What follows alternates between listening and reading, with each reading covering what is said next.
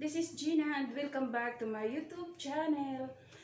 Guys, kasi nga, di ba nagmumukbang ako. So, ipapakita ko sa inyo guys kung anong workout ang ginagawa ko ah, everyday. Kasi nga, mahirap nang nagmumukbang tapos hindi nag-workout, di ba? Baka mamaya lulubo na ako. Siyempre, pag may mga edad na tayo, baka kailangan nating mag-workout. So, guys, ipapakita ko yung mga equipments na aking gagawin. At ah, yun ang ginagamit kong nag, ano, nag-workout. So, ito siya guys. Ito siya. Ayan. Lang. Kita ko sa inyo.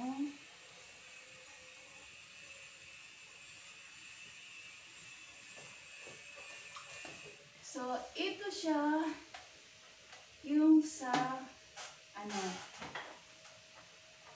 dito sa legs, 'di ba kapag kapag kasi may edad na tayo, 'di ba, yung mga ano natin dito nagsipaglaylayan na. So, ito siya ang sa ano, sa legs. Ayun. Tapos, ito naman siya ito siya ah para siya sa legs saka dito sa tiyan. Kaya tingnan mo mabilbil ko. Ayan, so kailangang mag-workout. So, at saka, yan, ito, sa tiyan. Sa tiyan ito siya guys. So, ipapakita ko mo, yan, hindi pala ako nakikita. So, ayan guys, ito siya sa tiyan. So, mamaya, ipapakita ko sa inyo kung paano ko ito gagamitin. Ayan. So, at ito naman, ginagamit ito siya dito siya guys, dito. Kasi kapag, ayan, di ba? So, kailangan itong gagamitin para dito. So, guys, ayan. Simulan na natin o panghinihintay natin. At tayo'y mag-workout na. So, ayan. Ganyan lang. Ayan. Ayan.